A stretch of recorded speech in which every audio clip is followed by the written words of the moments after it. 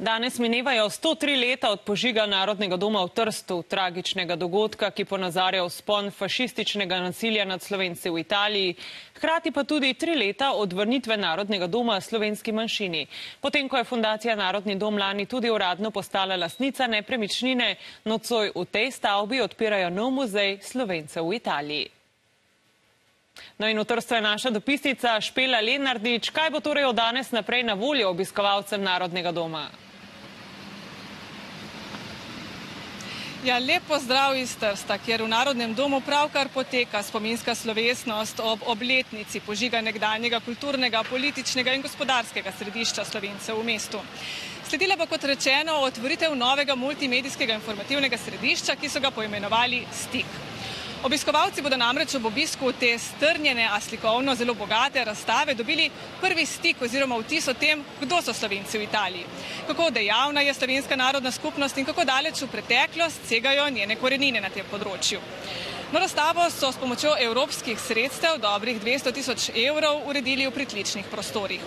Na celotno Fabjanjevo palačo pa bodo morali slovenci še počakati. Sporazum, ki so ga leta 2020 podpisali ob prisotnosti tedanjih predsednikov držav, predvideva, da se bo Narodni dom v slovenske roke vrnil v predvidoma desetih letih.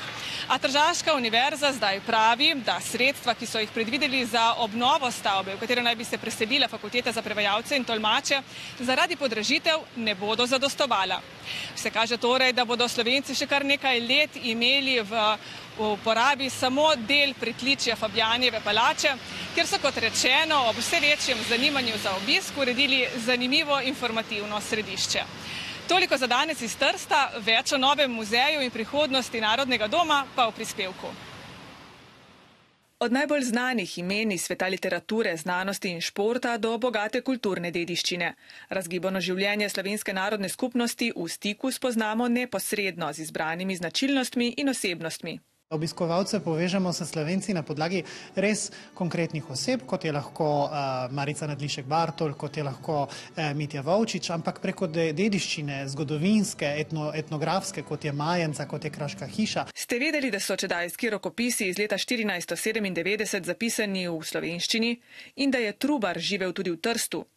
Poleg strnjenega zgodovinskega pregleda ponuja razstava v pogledu razvejano kulturno in športno dejavnost, šolstvo in glasbeno vzgojo ter medijski svet slovencev v Italiji. Obiskovalce na ogled vabijo že jutri. Vsaki dan, razen sobote in nedelje, žal je takrat ta prostor zaprt in torej tega ne bomo mogli zorganizirati drugače. Ključi Narodnega doma še vedno upravlja Tržaška univerza, saj ima v palači sedež fakulteta za prevajalce in tolmače. Prenova stavbe, v katero naj bi se preselili, se še ni začela.